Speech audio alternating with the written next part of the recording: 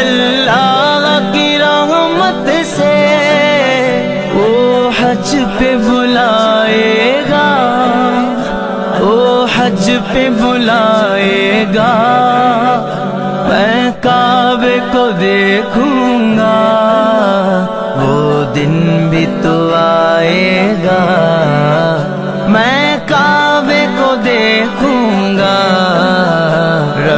मुझको भुलाएगा अल्लाह।